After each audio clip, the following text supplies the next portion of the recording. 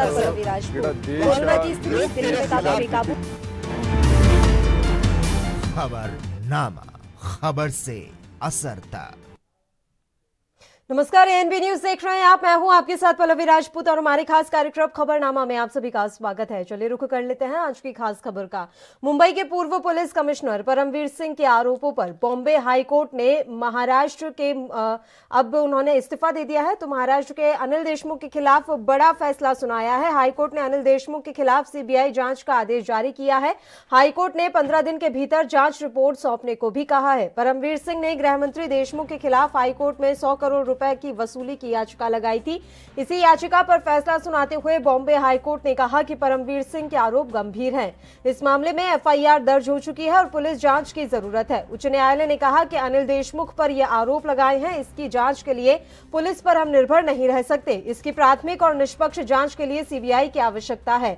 High court का फैसला पर राजनीतिक प्रतिक्रियाएँ भी आने लगी हैं। महाराष्ट्र के पूर्व मुख्यमंत्री देवेंद्र फडणवीस ने कहा कि हफ़्ता वसूली का बहुत ही जल्द सच सामने आ जाएगा। सीबीआई जाँच में एक एक करके सारी सच्चाई सामने आएगी।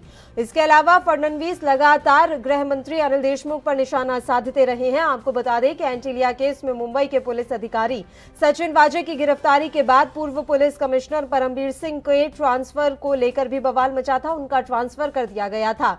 इस मामले में पूर्व कमिश्नर ने मुख्यमंत्री उद्धव ठाकरे को पत्र लिखा। इसमें दावा किया गया था कि अनिल देशमुख ने सचिन वाजे को सौ करोड़ रुपए वसूली का टारगेट दिया था। इसके साथ ही उन्होंने देशमुख पर कई अन्य आरोप भी लगाए थे।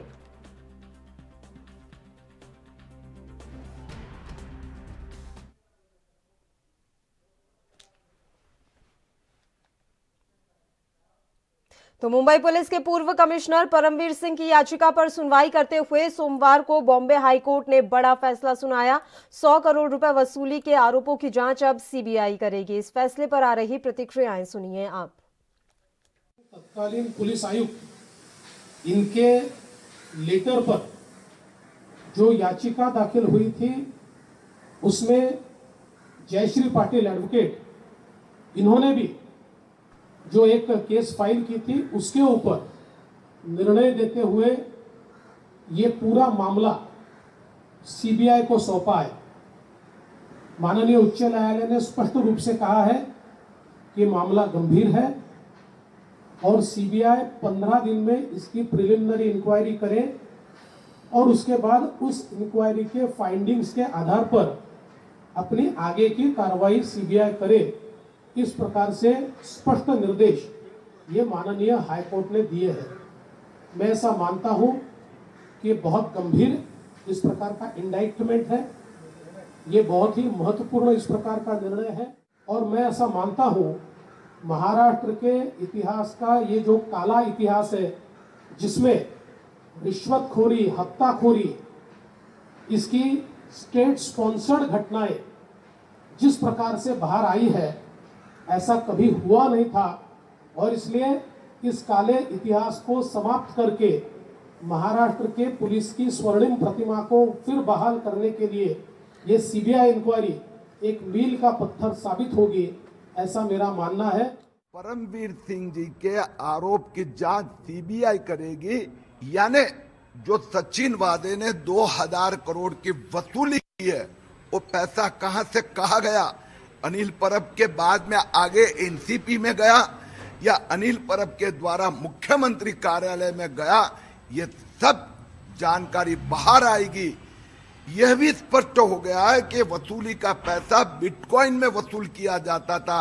यानी फॉरेन ट्रांजैक्शन, बेनामी कंपनियाँ, यानी मुझे विश्वास है, एनआईए, सीबीआई और अब ईडी, इनकम टैक्स और आरबीआई को भी इन्वॉल्व होना पड़ेगा। मैं हाईकोर्ट के निर्णय का स्वागत करता हूँ और उद्धव ठाकरे जी और शरद पवार ने जो कवर अप ऑपरेशन शुरू किया था उसको बड़ा तमाचा। अब ऐसा है ना कि 2000 करोड़ के हिस्से तो अनिल देशमुख के द्वारा एनसीबी में भी गए होंगे। जैसे उद्धव ठाकरे बचाव कर रहे हैं क्योंकि वो 2000 करोड़ से अनिल परब के द्वारा मुख्यमंत्री कार्यालय में भी पैसा आया होगा वो तो बचाव करेगी ऑपरेटिव पार्ट यह है कि सीबीआई ने इन जो सीरियस आरोपों पर अपना प्रिलिमिनरी इंक्वायरी करना है। प्रिलिमिनरी इंक्वायरी करने के बाद में पंद्रह दिन का समय है। पंद्रह दिन के अंदर उनको डिसीज़न लेना है कि इसमें एफ़ रजिस्टर करना है या नहीं है। उनको लगता है सीरियस ऑफेंस है कॉग्निजिबल ऑफेंस है। एफ़ रजिस्टर करना है तो सीबीआई एफ़ रजिस्टर करके आगे प्रोसीड करे। उनको लगता है नहीं तो CBI can close the case इसमें एक चीज़ और है कि जो बाकी पिटिशन थी, जैसे बाकी के अलावा उन पिटिशन के बारे में कोर्ट ने क्या कहा है और फ़िलहाल उनकी पिटिशन क्या रहेगी? एक्चुअली मैंने वो पूरा ठीक से सुन नहीं पाया हूँ। थोड़ी देर में ऑर्डर अपलोड हो जाएगा मैं आपको इसके बारे में जानकारी देता हूँ। एक चीज़ और है कि जब पिछली बार सुनवाई हो रही थी आर्गुमेंट के दौरान बहुत ब्रीफ आर्गुमेंट किया था एएसडी ने खुद अनिल सिंह ने।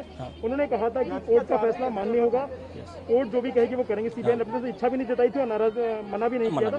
क्या। उसका फ़र्क पड़ा है कोर्ट के ऊपर कि सीबीआई एक तरीके से पॉजिटिव है अगर उसको ऑर्डर दिया जाँच के लिए तो? उस वो ज़्यादा फ़र्क नहीं पड़ता इन बातों का। क्योंकि देखिए फैक्ट्स पे है कोर्ट को लगा है इन्वेस्टिगेशन सीबीआई भले ही चाहे कि मैं इन्वेस्टिगेशन करने में इंटरेस्टेड हूँ उसका असर नहीं पड़ता है। तो अब आपको बता दें कि इस मसले पर भारतीय जनता पार्टी हमलावर है। रविशंकर प्रसाद ने भी अब प्रेस वार्ता करते हुए कहा है कि हम चाहते हैं कि इस मामले की पूरी सही तरीके से जाँच हो। ये महाअघाड़ी नहीं, वसूली अघाड़ी है। उन्होंने आगे कहा कि अनिल देशमुख ने अपना इस्तीफे में लिखा है कि मैं नैतिक आधार पर इस्तीफा दे रहा हूँ। क्या उद्धव जी, आपकी कोई नैतिकता है या नहीं? उन्होंने कहा कि अगर अनिल देशमुख नैतिक आधार पर इस्तीफा दे रहे हैं तो उद्धव ठाकरे आपकी नैतिकता कहाँ है? आपको बता दें कि महाराष्ट्र के गृह मंत्री अनिल देशमुख पर पूर्व पुलिस कमिश्नर परमवीर सिंह के द्वारा लगाए गए आरोपों के बाद से महाराष्ट्र की सियासत में हलचल है।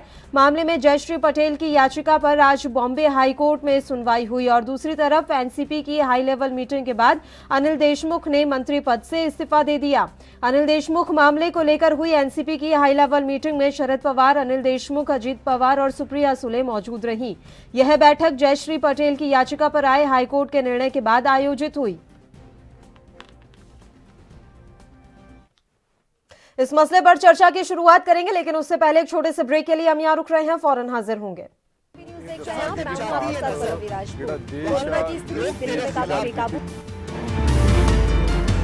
खबर नामा खबर से असर तक। राष्ट्र धर्म।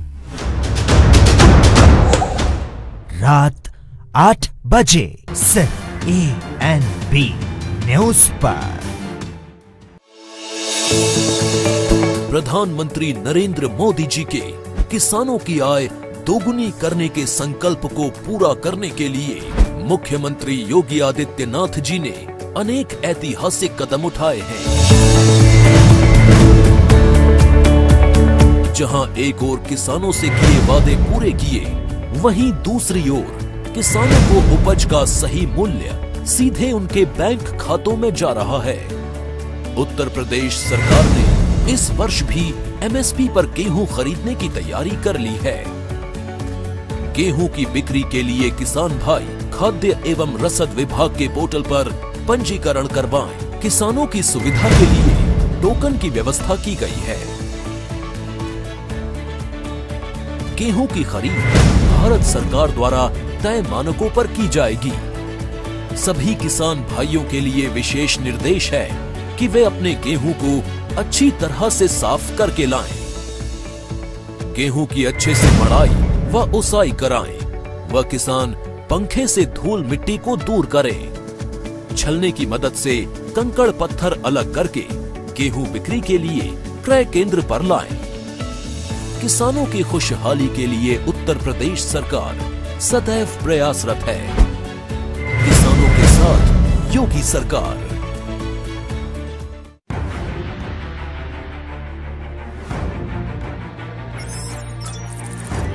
चाहे सियासत की हो या सरकार की। खबर चाहे भ्रष्टाचार की हो या गुनहगार की। दिन भर में क्या रहा देश जगत का हाल? किस मुद्दे ने बनाई किसकी सरकार? रखते हैं हम सब पर नज़र। पहुंचाते हैं हम हर खबर। हम हैं ए एन बी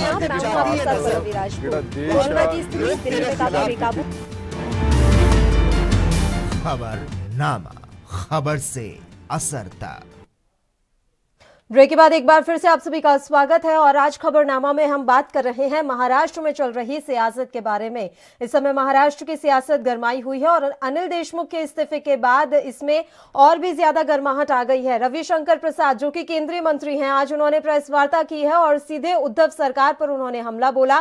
साथ ही उन्होंने बातों बातों में उद्धव ठाकरे के इस्तीफे की भी मांग कर डाली है। इस मसले पर चर्चा के लिए इस समय दो मेहमान हमारे साथ लाइव जुड़ गए हैं। सीधा परिचय आपका करवा देते हैं मेहमानों से। शिवसेना से इस समय हमारे साथ एकनाथ हुंडारे जी जुड़े हुए हैं। इनके अलावा भारतीय जनता पार्टी से रमन मलिक जी हमारे साथ जुड़ गए हैं। दोनों ही मेहमानों का स्वागत करती हूँ एएनबी न्यूज़ पर। सबसे पहले हुंडारे साहब, आपके साथ ही शुरुआत कर लेते हैं। सर, महाराष्ट्र की सियासत में चल क्या रहा है? भारतीय जनता पार्टी बहुत पहले से मांग कर रही थी कि आप इस्तीफा दिलवाइए अनिल देशमुख, और अंततः हुआ वही, उन्हें इस्तीफा देना ही पड़ा।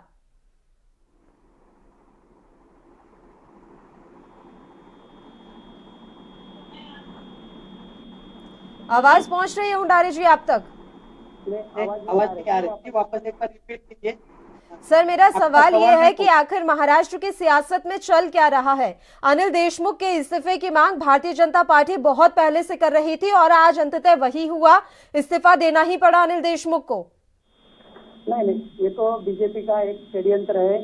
हर साल से जब से महाराष्ट्र सरकार जब से स्थिर हुई है तभी से आज तक हर बार ये सत्ता के लिए बेबुनियाद आरोप करते आ रहे और आज भी इन्होंने हर समय हमारे सन्मान्य मुख्यमंत्री उद्धव साहब के लिए हमेशा कोई ना कोई टारगेट करने का प्रयत्न किया कि कुछ ना कुछ ना वजह से ये लोग हमेशा महाराष्ट्र सरकार बरोबर नहीं, आज लॉकडाउन के समय जब से महाराष्ट्र के मुख्यमंत्री उद्धव साहब सत्ता पे स्थापन हुए, तभी से आज तक पूरे महाराष्ट्र की जनता जानती अच्छे से काम चालू है। परंतु बीजेपी वाले सत्ता के लिए बेबुनियाद आरोप करते रहे आज के टाइम संजय राठौर का विषय आया, देशमुख साहब का विषय है परंतु हमारे मुख्यमंत्री साहब ने उन्होंने अपना राजीनामा दिया और अपने कायदा व्यवस्था पे पूरा विश्वास है। इसीलिए कोई आरोप का निराकरण होने वाला है। जो सच्चाई है वो कुछ दिनों के बाद सामने आने वाली है। ठीक है, बताइए रमन मलिक जी, भले ही बॉम्बे हाईकोर्ट की तरफ़ से ये आदेश दिया गया है कि सीबीआई जाँच करवाइए और उसके बाद ही देशमुख ने अपना इस्तीफा दिया, लेकिन अभी भी शिवसेना और एनसीपी के नेता प्रवक्ता यही कह रहे हैं कि ये भारतीय जनता पार्टी की साजिश है। देखिए, एक बहुत पुराना गाना था और हिंदू हृदय सम्राट के वंशजों का, इस गाने पे सही ठहर जाना सबसे दयनीय स्थिति है। कि सजन रे झूठ मत बोलो, खुदा के पास जाना है। ऐसा करते करते हुए उद्धव साहब को एक बार बाला साहब स्वर्गीय उनकी याद करनी चाहिए थी कि वो क्या व्यक्तित्व थे और क्या आज उद्धव ठाकरे बन गए मैं ये जानना चाहता हूँ कि ये जो वसूली है, वसूली बाबा जो है, देशमुख जी, इनको कब तक ढोएगी शिवसेना? कब तक ढोएगी? ये सौ करोड़ रुपए अगर यहाँ से मांग रहे हैं तो पूरे महाराष्ट्र से कितने इकट्ठे करते हैं? इसका जवाब देना चाहिए। नैतिकता के आधार पर अगर देशमुख जी रिजाइन कर रहे हैं तो नैतिकता के आधार पे जो नैतिकता होनी चाहिए, वो तो खैर महाराष्ट्र में इस अघाड़ी बिगड़ी हुई गाड़ी में है ही नहीं। उसकी वजह बता देता हूँ, जब पूरा महाराष्ट्र कोरोना काल से ग्रसित हो रहा है त्राहीमान त्राहीमान हो रहा है और इनकी प्रियंका चतुर्वेदी जो है, वो बोल, वो देख रही है कि कहाँ और हो रहा है, कहाँ नहीं हो रहा। है पचास हज़ार रोज के लगभग आने लग रहे हैं। बेचारे लोग जो वहाँ पे ग्रसित हो रहे हैं। तुम क्या कर रहे हो उसके लिए? इस समय तो सारे वहाँ पे जो लोकशाही है, उसको इस चीज़ के लिए ध्यान देना चाहिए कि वो पचास हज़ार लोग जो रोज आना शुरू हो गए हैं, उनको कैसे बचाएँ? और ये लगे हुए हैं देशमुख साहब को बचाने के लिए। मैं ये पूछना चाहता हूँ कि इस सौ करोड़ में आपका कितना कट था उद्धव साहब? इस सौ करोड़ रुपए में पवार साहब का कितना कट था? इस सौ करोड़ के अंदर कहीं कांग्रेस ही तो पूरी चाबी नहीं हिला रही थी और आप कठपुतली की तरह ऐसे ऐसे कर रहे थे। सौ करोड़ के बंटवारे को लेकर लगातार सवाल उठ रहे हैं। सर आप अपनी बात पूरी तरीके से रखिएगा जारी रखिएगा। बस एक छोटे से ब्रेक के लिए हम यहाँ रुक रहे हैं फ़ौरन हाजिर होंगे।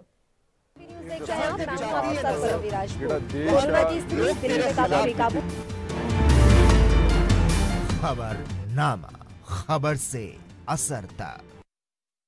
क्या आप दुबले पतले कमज़ोर हैं? आपकी सेहत नहीं बनती। भूख कम लगती है, वज़न नहीं बढ़ता।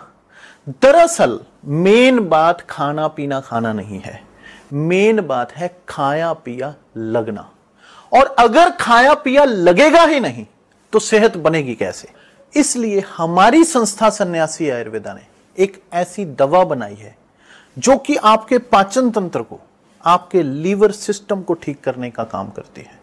ताकि आप जो भी खाएँ, उसका पूरे का पूरा निचोड़ आपके शरीर को लगे, आपकी भूख बढ़े, खाया पिया सही से लगे, नया खून बने, हड्डियों में जान आए, वज़न बढ़े, ताकत बढ़े, चेहरे पर नूर आए और आप मोटे, तगड़े, खूबसूरत पर्सनैलिटी के मालिक बन जाए। यह दवा पूरी तरह से आयुर्वेदिक होती है। इसका शरीर पर कोई भी साइड इफ़ेक्ट, कोई भी नुकसान या दुष्प्रभाव नहीं होता। लड़के, लड़कियाँ दोनों इसका इस्तेमाल कर सकते हैं और पहले पंद्रह दिन के अंदर ही आपको इसका असर महसूस हो जाएगा। सिर्फ़ 650 रुपए की पूरे एक महीने की दवा होती है और आप इसे घर बैठे zero double one four five four five four five four five पर फोन करके दवा मंगवा सकते हैं ਗੁਰੂ ਨਾਨਕ ਦੇਵ ਜੀ ਦਾ 550ਵਾਂ ਪ੍ਰਕਾਸ਼ ਪੁਰਬ ਸ਼ਰਧਾ ਭਾਵਨਾ ਨਾਲ ਮਨਾਇਆ 70 ਲੱਖ ਸ਼ਰਧਾਲੂ ਪ੍ਰਕਾਸ਼ ਪੁਰਬ ਮਨਾਉਣ ਲਈ ਸੁਲਤਾਨਪੁਰ ਲੋਧੀ ਨਤਮਸਤਕ ਹੋਏ ਕਰਤਾਰਪੁਰ ਲਾਂਘੇ ਦਾ ਉਦਘਾਟਨ ਕਰਕੇ ਸਿੱਖ ਸੰਗਤਾਂ ਨੂੰ ਸ੍ਰੀ ਦਰਬਾਰ ਸਾਹਿਬ ਕਰਤਾਰਪੁਰ ਦੇ ਖੁੱਲੇ ਦਰਸ਼ਨ ਦੀਦਾਰ ਕਰਵਾਏ 4 ਵਰਿਆਂ ਤੋਂ ਪੰਜਾਬੀਆਂ ਦੀਆਂ ਧਾਰਮਿਕ ਭਾਵਨਾਵਾਂ ਦਾ ਖਿਆਲ ਰੱਖ ਰਹੀ ਪੰਜਾਬ ਸਰਕਾਰ काफ़ी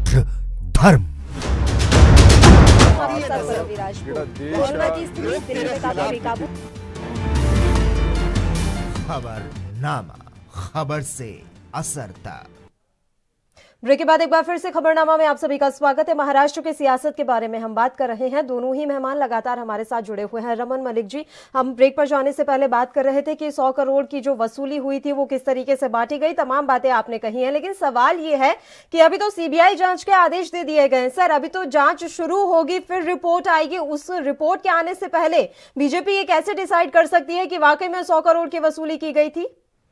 देखिए, ये तो एक स्पष्ट बात है कि ये जो महाविकास अघाड़ी बिगड़ी हुई गाड़ी जिसकी कोई नहीं लाइन ये जो चल रही है वो सिर्फ़ एक लालच के ऊपर तीनों जुड़े हुए हैं। इन्होंने जन, जनता के साथ धोखा करके सरकार बनाई है। मैंडेट देवेंद्र भाई के अंतर्गत इनकी सरकार चलने का था। मैंडेट इनके पास डायरेक्ट नहीं था। जो मैंडेट बना वो इन्होंने कहीं का ईट कहीं का रोड़ा और भानुमति जो कि पवार साहब हैं उनके साथ इन्होंने कुंभा जोड़ा। अब बात यहाँ पे सिंपल सी ये आती है और जो पूछने वाली बात है इनसे कि हर जगह हर समय कोई केस देख लीजिए चाहे वो मेट्रो का हो चाहे वो सुशांत का केस हो चाहे वो परमवीर सिंह का हो। चाहे वो अंतिल्या केस हो कोई भी केस हो ये सारा का सारा इतना गड़बड़ झाला कैसे कर, कर, करा रहे हैं? इतना जो मस्तिष्क है ना, वो उद्धव साहब में नहीं है। ये जो पीछे से जो कांग्रेस और पवार साहब उनको नचा रहे हैं ना, ये वो कहानी है। मैं तो आज बड़े खुले मन से एक जवाब इनसे चाहता हूँ कि जब बाला साहब के आचरण और बाला साहब की कही हुई कथनियों के ऊपर आप अपने आप को सिद्ध नहीं कर पा रहे तो कम से कम कभी शीशे के सामने खड़े होकर पूछिए कि क्या उस बड़ी दिवंगत आत्मा को आप कहीं से संतुष्टि दे रहे होंगे? लालच सत्ता का इतना नहीं होना चाहिए कि आप अपने पूर्वजों को इस तरीके से शर्मिंदा करें। दूसरी बात आपने जनता के साथ धोखा करा हर स्टेप पे। आज भी इस कोरोना काल के अंदर आप जनता के साथ धोखा कर रहे हैं साहब। देश के अंदर जितने कोरोना के केसेस आ रहे हैं उसमें से लगभग 50 परसेंट आपके पास आ रहे हैं। क्यों? ये बड़ा सवाल है क्योंकि आप लोगों की सुरक्षा लोगों की समृद्धि लोगों की विश्वसनीयता खो चुके हैं। ठीक है जवाब ले लेते हैं हुंडारी जी से मलिक साहब। वो कुछ कहना चाह रहे हैं बताइए हुंडारी जी वो कह रहे हैं कि क्या आपको समझ नहीं आता कि आप अपने पूर्वजों को क्या आगे जाकर मुँह दिखाएँगे और किस तरीके से हालाँकि एक बात कही अभी मलिक साहब ने कि ये उद्धव ठाकरे में इतना दिमाग नहीं है कि वो ये गड़बड़ झाला कर सके। ये इस आ, कहानी के पीछे एनसीपी और कांग्रेस का हाथ बता रहे हैं वो। नहीं नहीं हमारे महाराष्ट्र के मुख्यमंत्री उद्धव साहब अच्छे ढंग से सरकार चला रहे चला रहे यहाँ की जनता भी जानती है। तो बीजेपी वाले बेबुनियाद आरोप कर रहे हैं और बताना चाहता हूँ देशमुख साहब ने खुद होके राजीनामा दिया है रिजाइन दिया है। किसी ने मांगा नहीं। सुप्रीम कोर्ट के हाई सॉरी हाई कोर्ट के आदेश के अनुसार उच्च न्यायालय के आदेश के अनुसार उन्होंने खुद रिजाइन दिया है। किसी ने मांगा नहीं। और महाराष्ट्र सरकार मुख्यमंत्री अच्छे ढंग से सरकार चला रहे आप क्या बात कर रहे हैं? बुनियाद कर रहे मतलब हैं? ऐसे इनको सत्ता चाहिए बस। महाराष्ट्र की सरकार के लिए निशाना हमें अरे सत्ता तो आपको चाहिए थी तभी तो जाके इटली के बाबा की मम्मी के गोद में बैठ गए। आपको सत्ता चाहिए थी तभी मम्मी के गोद में गए हो। जिस सर, किस तरह की बातें कर रहे हैं आप? ठीक करा था मलिक साहब ये आप थोड़ी ना डिसाइड करेंगे सर किसको किसके साथ गठबंधन करना है? ये भी अब भारतीय जनता पार्टी डिसाइड करेगी क्या कि राज्यों में सरकार किस तरीके से बनेगी? मोदी जी और देवेंद्र भाई की अध्यक्षता में चुनाव लड़ा था ना। नीचे से निकले तो ये। हिंदुस्तान की जनता जानती है। महाराष्ट्र की जनता को धोखा देने वाले ये हैं। मैं तो अभी इनसे सीधा सवाल पूछता हूँ मैडम आपके माध्यम से। आपके माध्यम से सीधा सवाल है कि अगर नैतिकता के आधार पे अनिल देशमुख साहब ने ये कहते हैं कि रेजिग्नेशन दिया और कोई मांग नहीं रहा था तो पिछले लगभग एक महीने से जब से ये लेटर बम की कहानी चली है, मेरे को ये समझाइए जो पूरा विपक्ष, जो महाराष्ट्र की जनता, जो पत्रकार ये बोल रहे थे कि यहाँ इस तरह का कुकर्म हो रहा है तो उस समय ये मांग नहीं थी क्या कि अनिल देशमुख को रिजाइन करना चाहिए? बिल्कुल थी लेकिन अब जब बॉम्बे हाई कोर्ट से ये फैसला आया है कि सीबीआई ही जाँच करेगी तो अब उन्हें भी लग रहा होगा कि जब अब जाँच बैठ ही गई है तो बेहतर यही रहेगा कि हम अपने पद को छोड़ दें। इसमें गलत क्या है? नहीं नहीं नहीं। अगर अगर इतना तथ्य होंगे तभी हाई कोर्ट ने बोला ना। तो आप- माननीय हाई कोर्ट तब तो- तक ऐसी टिप्पणी नहीं करता जब तक तथ्य तो नहीं होने। ऐसा नहीं कि पूरा महाराष्ट्र में से आप जब से है ना सत्ता से लंचित हुए वंचित हुए तभी से आप लोग हमेशा सत्ता के लिए ना हर लोगों का रिजाइन।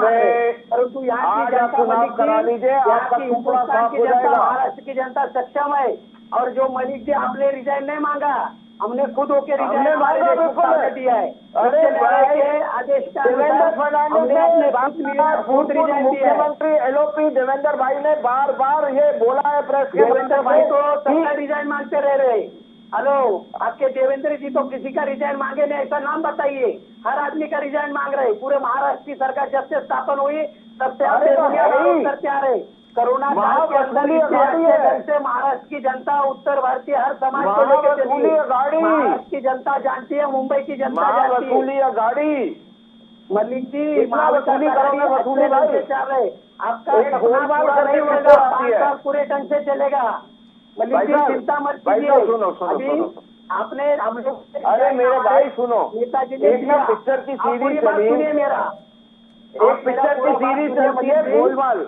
आप हमारे मित्र हैं सुनिए अच्छे से कि मलिक जी रिजाइन दिया हमने खुद दिया है। उच्च न्यायालय के जैसे आए उसी ढंग से रिजाइन दिया। आप लोग के मांगने से रिजाइन नहीं दिया गया। उस दिन से महाराष्ट्र के मुख्यमंत्री उद्धव साहब तो दिल्ली भी भागे, वो हैं। उत्तर के बाद भी भागे, क्यों भागे? कभी पूरा नहीं होएगा। अच्छा सर सर मेरी बात बताओ। एक तो ये दिल्ली में पवार साहब के घर जाके क्या स्पष्टीकरण दे रहे थे?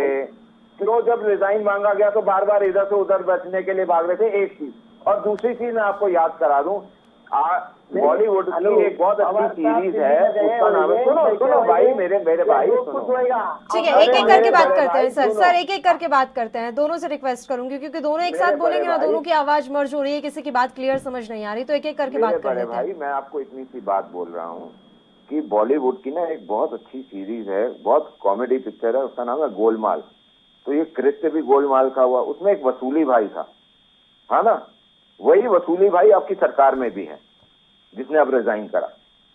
तो ये जो चक्कर है ना, इसको समझो और जनता से माफ़ी मांगो कि आपने ऐसे बंदे को मंत्री बनाया और मंत्री बनाने के साथ साथ उससे बचाव में आ रहे ठीक है अब जवाब ले लेते हैं हुंडारी जी का। सर वो उद्धव ठाकरे का भी इस्तीफा मांग रहे हैं। आज रविशंकर प्रसाद ने प्रेस वार्ता की है। उन्होंने कहा कि अनिल देशमुख ने जब नैतिकता के आधार पर इस्तीफा दे दिया तो उद्धव ठाकरे क्यों पीछे हैं? क्या उनमें कोई नैतिकता नहीं बची? नहीं नहीं हेलो ये गलत है। महाराष्ट्र की सरकार जानती है। जिसी ढंग से आज उच्च न्यायालय ने बोला उसी ढंग से हमारे मुख्य अब होते गृह राज्य मंत्री ने खुद ने रिजाइन दिया किसी के कहने से बीजेपी के कहने से नहीं दिया है। और जो बोल रहे हैं ना मलिक साहब कि शरद पवार जी दिल्ली में बैठे थे, ये लोगों से मिले, वो लोगों से मिले। देखो, वो पुराने नेता है उनको जाने का कहीं भी अधिकार है, पर अच्छे ढंग से मोदी साहब भी उनके घर पे कुछ दिन साल पहले गए थे पूना में आए थे। ये बात सब लोग जानते हैं, आपके नेता लोग जानते हैं। इसीलिए शरद पवार जी और हमारे मुख्यमंत्री पर ये आरोप करना गलत है और हमारे मुख्यमंत्री ये सरकार अच्छे ढंग से चला रहे और चलाएँगे ये भाजपा का बीजेपी का जो एजेंडा है सरकार गिराना ये कभी ना कभी इनको पता चले तो सही। अच्छे ढंग से सरकार चलाने वाले पाँच आप पाँच साल बिल्कुल सरकार चलाना बट मेरे को पहले ये बताओ आप शिवसेना के प्रवक्ता हैं या एनसीपी के? हम लोग शिवसेना के प्रवक्ता है और शिवसेना के नाते से मैं आपको बता रहा हूँ। परंतु हमारी महाविकास आघाड़ी है हम लोग एक साथ रहे तो हम लोग हमारे आदमी को बात करते हैं। ठीक है सर दोनों को ही रोक रही हूँ यहाँ पर। थोड़ी देर के लिए दोनों को ही रोक रही हूँ। एक छोटे से ब्रेक के लिए हमें यहाँ रुकना है फ़ौरन हाजिर होंगे।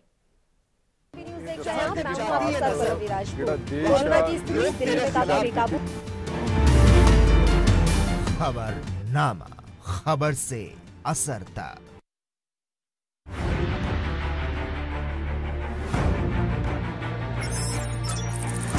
खबर चाहे सियासत की हो या सरकार की।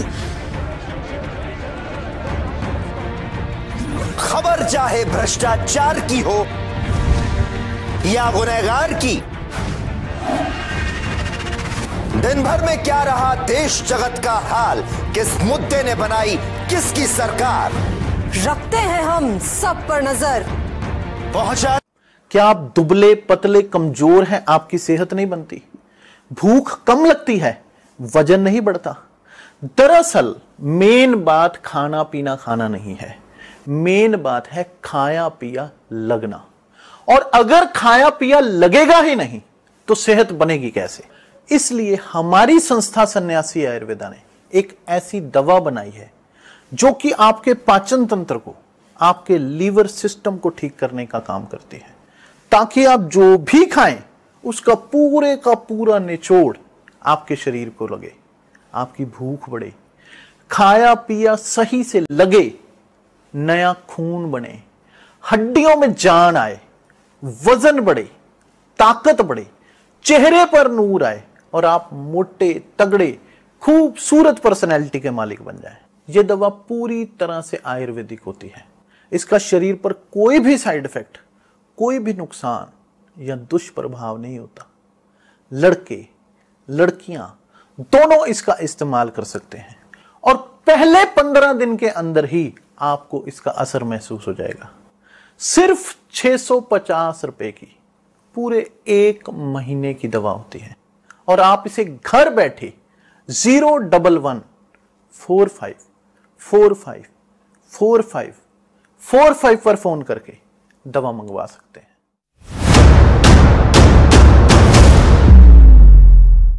हक की बात दोपहर 12 बजे सिर्फ ए एन बी न्यूज पर ਸਰਕਾਰੀ ਹਸਪਤਾਲਾਂ ਵਿੱਚ ਮੁਫਤ ਕਰੋਨਾ ਵੈਕਸੀਨ ਕਰੋਨਾ ਬਿਮਾਰੀ ਤੋਂ ਹਰ ਪੰਜਾਬੀ ਨੂੰ ਬਚਾਉਣ ਲਈ ਵਚਨਬੱਧ ਪੰਜਾਬ ਸਰਕਾਰ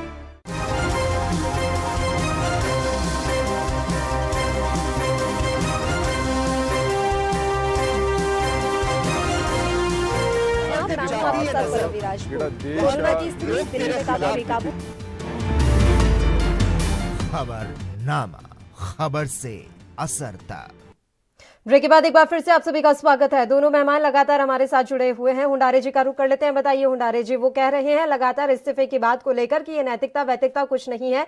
अब जब साफ़ तौर पर दिख रहा है कि दोषी साबित हो रहे हैं, इसलिए अब अपना बचाव पहले से ही शुरू किया जा रहा है। एक नाथ हुंडारे जी आवाज़ मिल रही है आपको सर? हाँ क्या बोले मैडम? सुनिए वापस रिपीट कीजिए जरा सुनाई नहीं सर मैं कह रही हूँ कि अब ना सिर्फ़ राज्य के विपक्ष की जो पार्टी है वो इसके अलावा केंद्र सरकार के निशाने पर आप लगातार आ गए हैं। अब आपको लग नहीं रहा है कि आने वाले समय में मुश्किलें और बढ़ जाएँगी आपके लिए?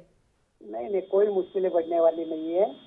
यहाँ की पूरी महाराष्ट्र की जनता जानती है जब से ये सरकार स्थापन हुई महाविकास आघाड़ी बनी है तब से हमेशा अपक्ष पार्टी बीजेपी का हमेशा यही दावा रहा है कि ये सरकार कैसे गिरी। इसलिए इन्होंने हर प्रयत्न किए। दिल्ली से लेके पूरे महाराष्ट्र तक हर राज्य से लेके इन्होंने यही प्रयास किया है कि यहाँ की सरकार कैसे गिरी। इस परंतु केस में इन्होंने क्या प्रयास किया? हुंडारे जी मैं आपको रोक रही हूँ बीच में लेकिन मेरा सवाल यह है कि अब ये जो मामला चल रहा है इस समय महाराष्ट्र में उसमें आप भारतीय जनता पार्टी की क्या संलिप्तता देख रहे हैं सर? नहीं नहीं ये महाराष्ट्र भारतीय जनता पार्टी ने इस ढंग से आज इनका जो बोल रहे हैं कि इन्होंने रिजाइन दिया है। परंतु महाराष्ट्र की जनता जानती है, देशमुख साहब ने खुद रिजाइन दिया है। उच्च न्यायालय के आदेश आने के बाद उन्होंने खुद रिजाइन दिया। किसी ने रिजाइन मांगा नहीं। मुख्यमंत्री ने मांगा नहीं शरद पवार साहब ने मांगा नहीं। परंतु इन्होंने खुद अपना रिजाइन देशमुख साहब ने दिया है। इसलिए इनकी पूरी नैतिकता के लिए वो ऐसे की कोई आरोप नहीं कर सकते कि वो जवाबदार है। और वो कुछ दिनों के बाद अभी उच्च न्यायालय और सीबीआई इंक्वायरी के बाद सब चीज़ सामने आने वाली है। सुशांत सिंह राजपूत के अंदर आपने देखा है।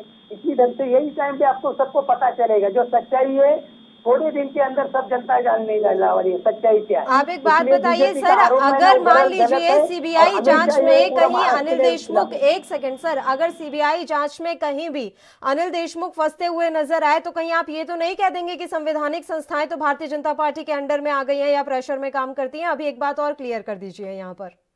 सीबीआई जाँच पर भरोसा रख रहे हैं ना आप? उच्च न्यायालय पे हमारा पूरा विश्वास है।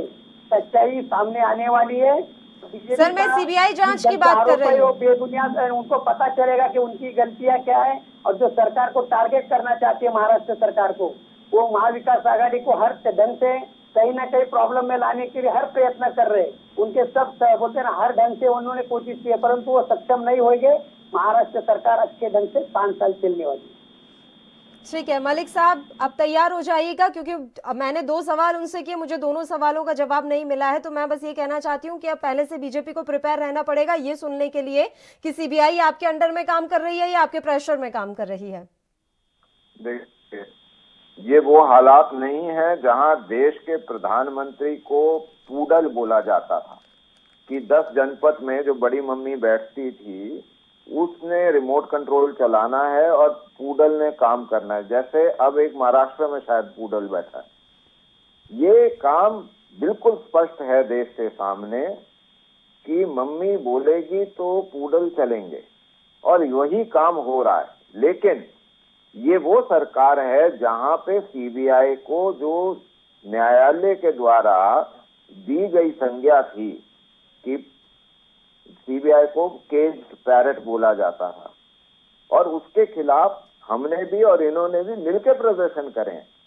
अब मैं इनसे ये बात पूछता हूँ कि वो संज्ञा दोबारा नहीं दी जाती। क्यों नहीं दी जाती? क्योंकि प्रोसीजर के हिसाब से स्वायत्त संस्था काम कर रही है।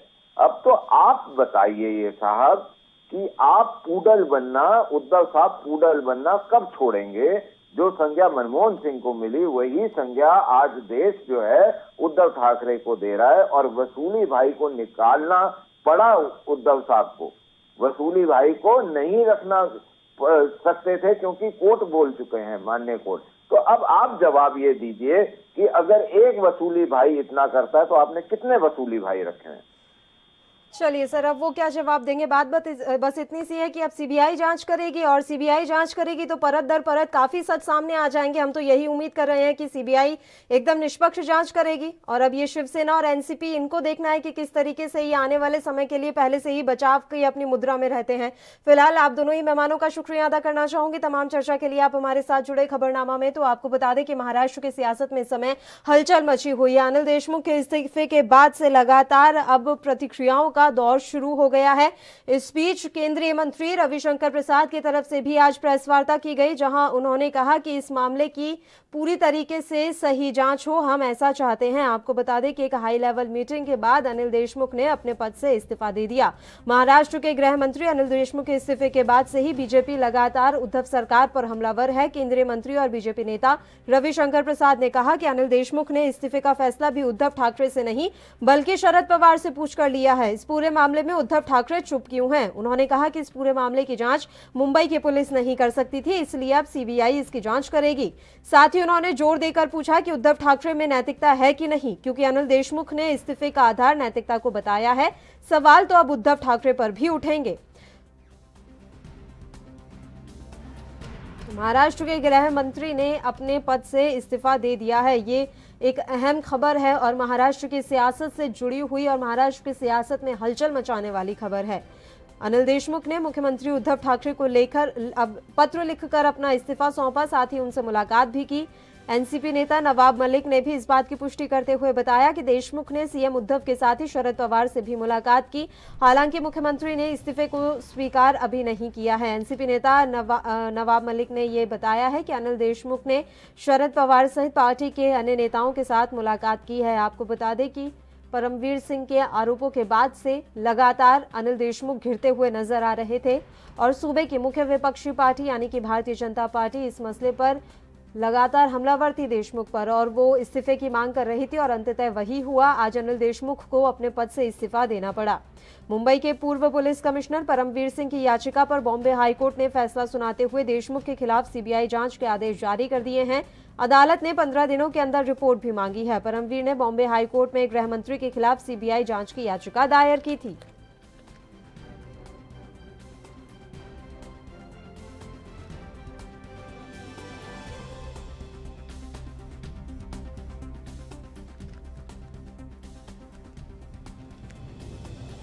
महाराष्ट्र की सियासत में इस समय हलचल मची हुई है। वहीं सीबीआई को भी पंद्रह दिन में जाँच रिपोर्ट सौंपने का आदेश दिया गया है। और फ़िलहाल वरिष्ठ पत्रकार योगेश सोनी जो इस समय हमारे साथ लाइव जुड़ गए हैं। योगेश जी, महाराष्ट्र की सियासत में इस समय महाभारत मची हुई है। पूरे देश की निगाहें टिकी हुई हैं कि आखिर चल क्या रहा है यहाँ पर। इस बीच बड़ी बात यह है कि उद्धव ठाकरे अभी तक चुप हैं। वो शुरू से लेकर अभी तक इस मसले पर चुप्पी साधे हुए हैं। वजह क्या मानी जाए?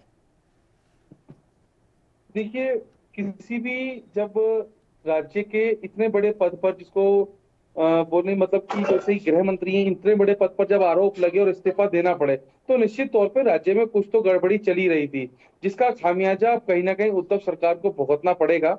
और मसला ये है, और इस देश का दुर्भाग्य ये है कि जब ऐसी घटनाएँ हो जाती हैं जब ऐसी घटनाओं को अंजाम दे दिया जाता तब इन सब चीज़ों के खुलासे इतनी देरी से होते हैं।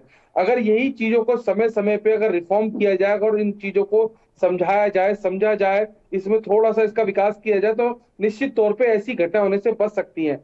ये आ, मैं आपको बताऊँ पल्लवी ये कोई बॉम्बे का मामला नहीं है। पहले भी ऐसे छह सात राज्यों में ऐसी घटनाएँ बड़े स्तर पे हो चुकी है लेकिन ढाक के तीन पात पर क्योंकि जिसके हाथ में तंत्र होता है, वो उसका मालिक होता है और उसके बाद ये चीज़ें होती हैं। उत्तर प्रदेश के परिवेश में देखिए, बीती सरकारों पर कितने बड़े आरोप, कितने बड़े घोटाले का आरोप लगे, उसके बावजूद कुछ नहीं हुआ। लालू प्रसाद यादव पर चारा घोटाला जो एक एक नेशनल नेशनल स्तर का जो घोटाला था, वो लगा था। उसके बावजूद थोड़ी सी सजा काटने के बावजूद भी वो आज राजनीति में पूर्ण रूप से सक्रिय है। लोग उनकी पार्टी को आज बिहार में जो बीते विधानसभा चुनाव में दूसरे नंबर पर आए। तो मसला ये है कि यहाँ पर जो चीज़ें हैं, वो ये नहीं कि ये घोटाले का आरोप लगा और उन्होंने इस्तीफा दे दिया। और महाराष्ट्र की चाल शान मस्तानी तो तभी बन चुकी थी जब उद्धव सरकार ने दोनों दलों के साथ मिलकर सरकारें बना ली थी। तो मसला कहीं ना कहीं ये था कि ये बात सबके मन में घर कर गई थी कि क्या इतने लंबे समय तक ये सरकार संचालित हो पाएगी नहीं हो पाएगी? क्योंकि बीती लगातार दो दो तीन मरतबा से बीजेपी के साथ गठबंधन से सरकार बनाना उसके बाद ऐसे दलों बाकी उन दो, दोनों दलों के साथ जुड़ के सरकार बनाना ये कहीं ना कहीं सवालिया निशान अपने आप में सरकार ने खड़ा करा दिया था। तो उसके बावजूद ऐसा होना अब इसको कुछ लोग दो, दो एंगल से ले रहे हैं। एक कि ये यहाँ पर ऐसा कुछ हुआ है। दूसरा ये कि यहाँ पर बीजेपी पर राजनीतिक आरोप है, उन्होंने कुछ ऐसा कह के परमवीर से काम करवाया। लेकिन किसी चीज़ की हम पे तयशुदा प्रमाणिकता नहीं है तो हम इस बारे में बयान कुछ बहुत, जमकर बहुत बढ़कर नहीं दे सकते। लेकिन मसला ये है, दुर्भाग्यपूर्ण कि इतने बड़े घोटाले पे अगर आज ये कार्रवाई बैठ रही है और इन चीज़ों को जो हम समझ रहे तो कहीं ना कहीं निश्चित तौर पर ये सब चीज़ें लोकतंत्र के लिए एक बहुत बड़ा खतरा है। यानी आने वाले समय में महाराष्ट्र सरकार की मुश्किलें तो निश्चित तौर पर बढ़ेंगी। इतना सब कुछ हम देख रहे हैं और एक यहाँ पर सवाल ये भी है कि अगर वाकई में भारतीय जनता पार्टी की कोई मिली भगत होती तो बॉम्बे हाईकोर्ट की तरफ़ से इस तरह का फैसला दिया जाना और अब सीबीआई जाँच बैठेगी तो ऐसा नहीं है कि सीबीआई निष्पक्ष जाँच नहीं करेगी तो दिक्कतें तो बीजेपी के लिए भी बढ़ सकती है। तो इन सब के बावजूद बीजेपी क्यों मांग करती कि आप सीबीआई जाँच करवाइए? जी जी जी, मैंने ये कहा। मैंने कहा दो तरीके की चीज़ों को लेके घटनाएँ उठी हैं। इसको हर चीज़ का नकारात्मक और एक सकारात्मक पहलू होता है। अगर ये जो आपने बात बताई है निश्चित तौर पर ये गैर राजनीतिक बात और इसको हम तकनीकी रूप से समझे तो इसमें बीजेपी के लिए समस्या अगर ये सब करती तो लोग अपने मन से आरोप लगाते हैं क्या इधर शिवसेना के जो नेता ये जो बाकी दलों की इनके साथ सरकारें जुड़ी है वो ऐसा आरोप लगा रही है कि ये बीजेपी की बीजेपी का इस्तेमाल इसमें बीजेपी का कैसे कोई हाथ हो सकता है? जब तुम्हारे ऊपर कोई आपत्ति आई या कोई घटना घटी या कोई संकट पैदा हुआ तो आप विपक्ष में आरोप लगा दो। लेकिन इतने बड़े घोटाले को लेके और इतने बड़े देश की वित्तीय राजधानी महाराष्ट्र मुंबई कहलाई जाती है, वहाँ महाराष्ट्र सरकार जो संचालित इस समय पर है, इस तरीके की कार्यशैली से कहीं ना कहीं बहुत लोगों को ठेस पहुँचती है और ये लगता है कि ये भाई का जो धंधा है, करोड़ों अरबों रुपए का, क्या ये केवल यहीं तक सीमित है? क्या क्या केवल ये इसी सौ करोड़ या एक ही योगेश जी एक सवाल और है कि जैसे जैसे जाँच आगे बढ़ेगी जैसे जैसे जाँच आगे बढ़ेगी क्या लग रहा है? सरकार के और भी नुमाइंदे इस केस में फंस सकते हैं। क्या आने वाले समय में कोई और भी बड़े नाम इस पूरे मसले में सामने आ सकते हैं? क्योंकि भारतीय जनता पार्टी ये भी कह रही है कि ये सौ करोड़ किस किसमें बटने वाला था? ये बड़ा सवाल है। पल्लवी मैं एक बात की जानकारी आपको दे दूँ कि कोई भी जो इतने बड़े स्तर पे घोटाले होते हैं या रिश्वतबाजी या रिश्वत कांड होते हैं ये कोई एक व्यक्ति का काम नहीं होता। ये इसमें पूरी श्रृंखला होती है।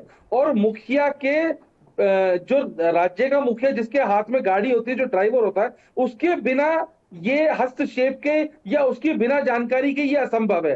तो मैं ऐसा नहीं मानता।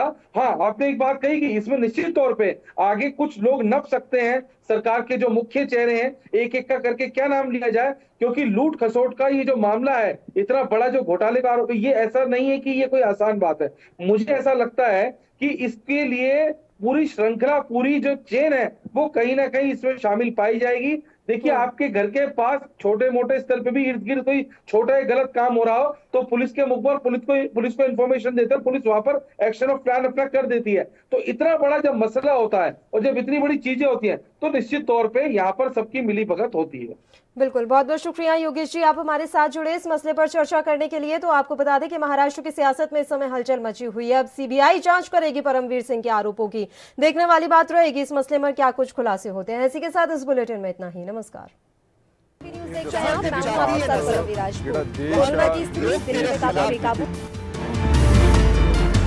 खबर नामा खबर से असर तक ਦੇਸ਼ ਦੇ ਨਾਲ ਹੀ ਪੰਜਾਬ ਵੀ ਕੋਵਿਡ-19 ਤੋਂ ਬਹੁਤ ਜ਼ਿਆਦਾ ਪ੍ਰਭਾਵਿਤ ਹੋਇਆ ਜਿੱਥੇ ਇੱਕ ਪਾਸੇ ਸਾਰੇ ਰੋਜ਼ਗਾਰ ਧੰਦੇ ਬੰਦ ਹੋ ਗਏ ਸੀ ਤੇ ਦੂਜੇ ਪਾਸੇ ਮਜ਼ਦੂਰਾਂ ਤੇ ਆਮ ਲੋਕਾਂ ਨੂੰ ਰੋਟੀ ਪਾਣੀ ਦੇ ਲਾਲੇ ਪੈ ਰਹੇ ਸੀ। ਇਸ ਦੌਰ ਵਿੱਚ ਵੀ ਪੰਜਾਬ ਦੀ ਕੈਪਟਨ ਅਮਰਿੰਦਰ ਸਿੰਘ ਸਰਕਾਰ ਨੇ ਲੋਕਾਂ ਦਾ ਹੌਸਲਾ ਨਹੀਂ ਟੁੱਟਣ ਦਿੱਤਾ ਤੇ ਉਹਨਾਂ ਲਈ ਰਾਸ਼ਨ ਪਾਣੀ ਦਾ ਤੇ ਹੋਰ ਲੋੜੀਂਦੀ ਸਮੱਗਰੀ ਦਾ ਵੀ ਇੰਤਜ਼ਾਮ ਕੀਤਾ ਸੀ। ਪ੍ਰਸ਼ਾਸਨੀ ਸੁਧਾਰ ਤੇ ਜਨਤਕ ਸ਼ਿਕਾਇਤ ਵਿਭਾਗ ਨੇ ਪਰਿਵਾਰ ਭਲਾਈ ਵਿਭਾਗ ਨਾਲ ਸਲਾਹ ਮਸ਼ਵਰਾ ਕਰਕੇ ਕੋਵਿਡ-19 ਦੇ ਫੈਲਾਅ ਉੱਤੇ ਕਾਬੂ ਪਾਉਣ ਲਈ ਕੋਵਾ ਐਪ ਵਿਕਸਿਤ ਕੀਤਾ ਸੀ, ਜਿਸ ਨਾਲ ਆਨਲਾਈਨ ਰਜਿਸਟ੍ਰੇਸ਼ਨ ਹਸਪਤਾਲਾਂ ਅਤੇ ਲੈਬਾਂ ਤੇ ਹੋਰ ਭਲਾਈ ਦੀ ਜਾਣਕਾਰੀ ਨੂੰ ਵਿਕਸਿਤ ਕੀਤਾ ਗਿਆ। ਜੋ ਵੀ ਪੰਜਾਬ ਸਰਕਾਰ ਵੱਲੋਂ ਇੱਕ ਐਪ ਬਣਾਈ ਗਈ ਸੀ, ਜੋ ਕਿ ਪਿਛਲੇ ਸਾਲ ਜਦੋਂ ਕੋਵਿਡ ਦੀ ਲਹਿਰ ਸ਼ੁਰੂ ਹੋਈ ਹੈ ਇਮੀਡੀਏਟਲੀ ਇਹ ਸੋਚਿਆ ਗਿਆ ਕਿ ਕੋਵਾ ਐਪ ਬਣਾ ਦਿੱਤੀ ਜਾਵੇ, ਜਿਸ ਦੇ ਵਿੱਚ ਬਹੁਤ ਸਾਰੀਆਂ ਫੈਸਿਲਿਟੀਆਂ ਸੀਗੀਆਂ। ਉਸ ਵੇਲੇ ਕੋਵਿਡ ਬਾਬਤ ਜਾਣਕਾਰੀ ਤੇ ਕੋਈ ਵੀ ਜਿਵੇਂ ਮਾਈਗ੍ਰੈਂਟਸ ਵਗੈਰਾ ਵੀ ਆ ਜਾ ਰਹੇ ਸੀ, ਉਹਦੀ ਰਜਿਸਟ੍ਰੇਸ਼ਨ ਤੇ ਆਪਣੇ ਕੋਵਿਡ ਟੈਸਟ ਕਰਾਉਣ ਦੀ ਵੀ ਉਹਦੇ ਵਿੱਚ ਤੁਸੀਂ ਰਜਿਸਟਰ ਕਰਾ ਕੇ ਵੀ ਜਾ ਸਕਦੇ ਸੀ। ਤੇ ਹੁਣ ਟੀਕਾਕਰਨ ਦੀ ਮੁਹਿੰਮ ਦੇ ਵਿੱਚ ਵੀ ਪੰਜਾਬ ਸਰਕਾਰ ਨੇ ਇਹ ਬਹੁਤ ਅੱਛਾ ਉਪਰਾਲਾ ਕੀਤਾ ਹੈ। ਕੋਵਾ ਐਪ ਦੇ ਥਰੂ ਤੁਸੀਂ ਆਪਣੇ ਆਪ ਨੂੰ ਪਹਿਲਾਂ ਸੈਲਫ ਰਜਿਸਟਰ ਕਰਕੇ ਆਪਣੀ ਸਰਜਨ ਸਾਈਟ ਚੂਜ਼ ਕਰਕੇ ਤੁਸੀਂ ਉੱਥੇ ਜਾ ਕੇ ਆਪਣਾ ਟੀਕਾ ਲਗਾ ਸਕਦੇ ਹੋ। ਐਪਲੀਕੇਸ਼ਨ ਦੇ ਸਮੇਂ ਦੀ ਲੋੜ ਅਨੁਸਾਰ ਇਸ ਦੀ ਵਿਆਪਕ ਵਰਤੋਂ ਅਤੇ ਉਪਲਬਧ ਵਰਤੋਂ ਦੇ ਮਾਮਲਿਆਂ ਲਈ ਪ੍ਰਸਿੱਧੀ ਵੀ ਹਾਸਲ ਕੀਤੀ ਹੈ। ਨਾਲ ਹੀ ਕਰੋਨਾ ਫੈਲਣ ਦੇ ਮਾਮਲੇ ਵੀ ਘਟੇ ਸੀ। ਆਨਲਾਈਨ ਰਜਿਸਟ੍ਰੇਸ਼ਨ ਕਰਾਈ ਸੀ ਆਪਣੇ ਰੈਜ਼ੀਡੈਂਸ ਤੋਂ ਹੀ ਤੇ ਮੈਂ ਇੱਥੇ ਸਿੱਧਾ ਟੀਕਾਕਰਨ ਸੈਂਟਰ ਤੇ ਆਇਆ। ਮੈਂ ਸੀਨੀਅਰ ਸਿਟੀਜ਼ਨ ਇਸ ਕਰਕੇ ਮੈਨੂੰ ਕੋਈ ਪ੍ਰੋਬਲਮ ਨਹੀਂ ਆਈ। ਮੈਂ ਸਿੱਧਾ ਉਹਨਾਂ ਨੇ ਮੈਨੂੰ ਟੀਕਾ ਲਾਤਾ ਔਰ ਨਾਲ ਦੀ ਨਾਲ ਮੈਂ ਫਾਰਗ ਹੋ ਗਿਆ। ਕੋਆ ਪਲੇਟਫਾਰਮ ਨੂੰ ਆਰੋਗਿਆ ਸੇਤੂ ਆਈਸੀਐਮਆਰ ਆਈਟੀ ਆਧਾਰਿਤ ਇਕੱਤਰਿਤ ਹੌਟਸਪੌਟ ਵਿਸ਼ਲੇਸ਼ਣ ਪ੍ਰਣਾਲੀ ਅਤੇ ਕੋਵਿਡ-19 ਕੁਆਰੰਟਾਈਨ ਅਲਰਟ ਸਿਸਟਮ ਨਾਲ ਜੋੜਿਆ ਗਿਆ ਹੈ। ਜਦੋਂ ਕੋਈ ਵੀ ਕੋਵਿਡ-19 ਦਾ ਟੈਸਟ ਕਰਵਾ ਲੈਂਦਾ ਹੈ ਤਾਂ ਇਸ ਦੀ ਰਿਪੋਰਟ ਆਪਣੇ ਆਪ ਉਸ ਨੂੰ ਐਸਐਮਐਸ ਦੁਆਰਾ ਸਾਂਝੀ ਕੀਤੀ ਜਾਂਦੀ ਹੈ। ਕਿਉਂਕਿ ਸਮੇਂ-ਸਮੇਂ ਤੇ ਕੋਆ ਪਲੇਟਫਾਰਮ ਆਈਸੀਐਮਆਰ ਨਾਲ ਲਿੰਕ ਹੁੰਦਾ ਹੈ ਤੇ ਇਸ ਐਪ ਦੇ ਰਾਹੀਂ ਕੋਈ ਵੀ ਆਪਣੇ ਆਪ ਨੂੰ ਕੋਰੋਨਾ ਟੀਕਾਕਰਨ ਲਈ ਰਜਿਸਟਰ ਵੀ ਕਰ ਸਕਦਾ ਹੈ।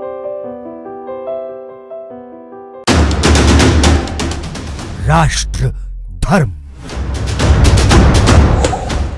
रात आठ बजे, सिर्फ़ ए एन बी न्यूज़ पर। कम ब्रेक और ज़्यादा खबरों के साथ देखिए ए एन बी न्यूज़। इन चैनल नंबर पर।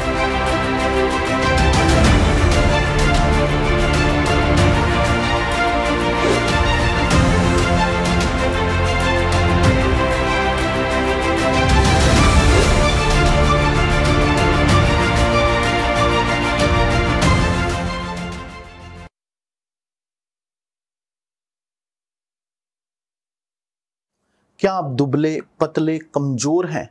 आपकी सेहत नहीं बनती। भूख कम लगती है, वज़न नहीं बढ़ता। दरअसल, मेन बात खाना पीना खाना नहीं है। मेन बात है खाया पिया पूरी तरह से शरीर पर लगना। और अगर खाया पिया पूरी तरह से शरीर पर लगेगा नहीं तो आपकी सेहत बनेगी कैसे? लोग सोचते हैं कि मैं ज़्यादा बढ़िया खाऊँगा। काजू खाऊँगा, बादाम खाऊँगा किशमिश मेवे खाऊँगा या मांस मछली खाऊँगा तो मेरी ज़्यादा बढ़िया सेहत बनेगी। क्योंकि सभी ने अपने बड़े बुज़ुर्गों से एक बात सुन रखी है कि घी दूध खाओ, सेहत तो अपने आप ही बन जाएगी। मैं कहता हूँ, घी, दूध, काजू, बादाम तो आप खा लोगे, पर क्या उस घी दूध को पचाने की क्षमता आपके अंदर है? वरना इधर से खाया और उधर से निकल गया तो क्या फ़ायदा? फिर चाहे आप जिम जाएँ कसरत करें, घी दूध खाएँ, कुछ भी करें, आपके ऊपर इसका असर नहीं होगा। जैसे आप अपने घर के पानी की टंकी में जितना मर्ज़ी पानी भरे जाए, अगर नीचे से नल खुला रह गया तो सब कुछ उसी में बह जाएगा। ठीक इसी प्रकार, आप चाहे कितना भी अच्छा खा पी लें, अगर आपका पाचन तंत्र, अगर आपका लिवर सिस्टम ठीक नहीं है तो आपके ऊपर कुछ भी नहीं लगेगा। इसलिए हमारी संस्था सन्यासी आयुर्वेदा ने एक ऐसी दवा बनाई है, जो कि आपके पाचन तंत्र को दुरुस्त करने का काम करती है, जो कि आपके लीवर सिस्टम को मज़बूत बनाने का काम करती है। ताकि आप जो भी खाएँ, उसका पूरे का पूरा निचोड़ आपके शरीर पर लगे, आपकी भूख बढ़े, खाया पिया सही से लगे, नया खून बने।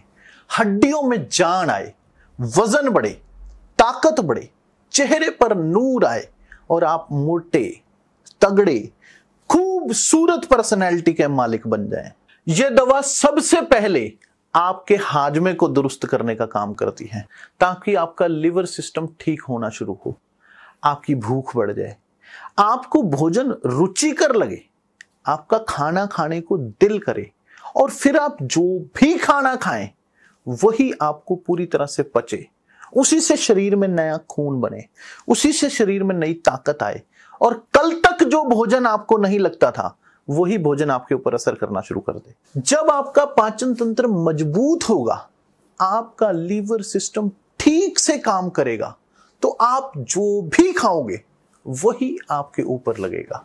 सही मायने में आपका पाचन तंत्र, आपकी वो मशीन है जो आपकी रोटी में से, आपके भोजन में से ताकत निकालने का काम करती है। ताकि आप जो भी खाएँ, उसका पूरे का पूरा निचोड़ आपके शरीर को लगे। आपके अंदर एनर्जी बने, ताकत बढ़े, नया खून बने, शरीर हष्ट, पुष्ट, बलिष्ठ और बॉडी मज़बूत बने। यह दवा पूरी तरह से आयुर्वेदिक होती है। इसलिए इसका शरीर पर कोई भी साइड इफ़ेक्ट, कोई भी नुकसान या दुष्प्रभाव नहीं होता। लड़के, लड़कियाँ दोनों इसका इस्तेमाल कर सकते हैं और पहले पंद्रह दिन के अंदर ही आपको इसका असर महसूस हो जाएगा। सिर्फ़ 650 रुपए की पूरे एक महीने की दवा होती है और आप इसे घर बैठे zero double one, four five four five four five four five पर फ़ोन करके दवा मंगवा सकते हैं। मैंने बहुत से लोगों को सिर्फ़ कमज़ोर सेहत होने की वजह से शर्मिंदगी का सामना करते हुए देखा है। चार दोस्तों में खड़े होते हैं तो फीके पड़ जाते हैं। कपड़े जचते नहीं, कोई लड़की पसंद नहीं करती। शादी ब्याह यारों दोस्तों के सामने शर्मिंदगी महसूस होती है। कोई इंटरव्यू वगैरह देने जाए तो पहले ही अंदर से झिझक महसूस होती है कि कहीं सामने वाला मुझे देखकर ही रिजेक्ट ना कर दे। और इसी प्रकार लड़कियाँ अगर ज़्यादा दुबली पतली हो तो वो आकर्षक नहीं लगती। भरा हुआ बदन ना हो तो कपड़े पूरे नहीं जचते। और कई बार तो ज़्यादा दुबली पतली लड़की हो तो लोग उससे शादी करने को भी कतराते हैं कि कहीं कल को ऐसा ना हो कि इसका असर हमारी आने वाली औलादों पर पड़े। इन सब के पीछे बस एक ही कारण है कि जो आपके भोजन में से ताकत निकालने वाली मशीन है, वो ठीक से काम नहीं कर रही है। जैसे आपने कभी संतरे का जूस निकालने वाली मशीन को ध्यान से देखा हो, उसमें एक नट होता है। अगर आप उस नट को कस दें तो उसमें से जूस ज़्यादा निकलता है और गूदा कम। और अगर उसी नट को ढीला कर दें तो गूदा गूदा ज़्यादा निकलेगा और जूस कम। बस इसी उदाहरण को आप अपने शरीर पर समझ लें कि अगर आपका पाचन तंत्र ठीक है अगर आपका लीवर सिस्टम ठीक है तो आप उसमें जो भी डालोगे, वो उसी का पूरा निचोड़ निकाल देगा। जब आपकी मशीन दुरुस्त होगी तो आप उसमें जो भी डालोगे, वो उसी से ताकत को खींच लेगी। आपकी बॉडी के सारे सिस्टम रस, रक्त, मांस, मेद, अस्थि, मज्जा, शुक्र पूरी बॉडी ठीक से काम करने लग जाएगी। इसीलिए हमने ये दवा बनाई है कि सबसे पहले उस मशीन को ही ठीक कर दिया जाए, ताकि आपकी बॉडी जो पनप नहीं पा रही है, वो पनपने लग जाए। सिर्फ़ दिन में दो बार, सुबह नाश्ते के बाद और शाम को खाना खाने से पहले आप इसे दूध या पानी के साथ ले सकते हैं। पहले पाँच, सात, दस दिनों के अंदर ही आपको इसका फ़र्क महसूस हो जाएगा। कि मैंने दवा खाई, मेरी भूख पहले से बहुत अच्छी हो गई, मेरा हाजमा बहुत बढ़िया हो गया। मैं जो भी खाता हूँ, वही पच जाता है। पेट बिल्कुल दुरुस्त रहता है। शरीर में ऊर्जा सी, ताकत सी, शक्ति सी भरी रहती है। चेहरे पे नूर, लालिमा, चमक सी आ रही है। पर्सनैलिटी इंक्रीज हो रही है। और सबसे बड़ी बात पूरी तरह से आयुर्वेदिक होने की वजह से इसका शरीर पर कोई भी नुकसान नहीं होता। कई बार लोग जिम जाते हैं, कसरत करते हैं कि किसी तरीके से मेरी बॉडी बन जाए। वो जिम में हज़ार, दो हज़ार रुपए महीने की मेंबरशिप भी ले आते हैं। फिर दो दिन कसरत करते हैं और थक जाते हैं कि मेरी तो हड्डियाँ दर्द करने लगी। उनसे कसरत हो ही नहीं पाती। और जिम के पैसे भी बेकार चले जाते हैं। बहुत बार मैंने देखा है कि लोग प्रोटीन के डब्बे खाते हैं या कुछ बाजारू दवाइयाँ खाते हैं या कैप्सूल, गोलियाँ, इंजेक्शन लगवाते हैं कि किसी तरह से हमारी सेहत बन जाए। पर वो ये नहीं जानते कि उनसे कुछ भी नहीं होने वाला है। क्योंकि जब तक आपके अंदर की गड़बड़ को ठीक नहीं किया जाएगा, तब तक आपकी सेहत बन ही नहीं सकती। और आजकल तो बाज़ार में कुछ इस तरह की दवाइयाँ आ रही हैं, जो उल्टा फ़ायदे की जगह नुकसान पहुँचा देती। मैं कहता हूँ, प्रोटीन के डब्बे पीने हैं, पियो, लेकिन उस प्रोटीन को पचाने की ताकत भी तो तुम्हारे अंदर होनी चाहिए, वरना ऊपर से प्रोटीन खाया और नीचे से निकल गया तो क्या फ़ायदा? लोग कहते हैं, मीट खाने से, मुर्गा खाने से, मछली खाने से ताकत बनती है।